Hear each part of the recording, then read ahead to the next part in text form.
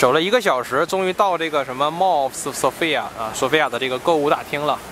这是一个大楼啊，可以说整个的这个索菲亚都没有几个楼，这是其中一个高的，这是一个算是一个大卖场吧。我先进去看一看。这个点儿我估计也下班了，但是我既然走过来了，不能不看啊。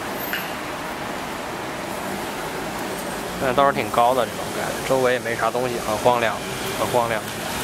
像我觉得它这个卖场盖的意义啊，就是拉动一下周围的经济。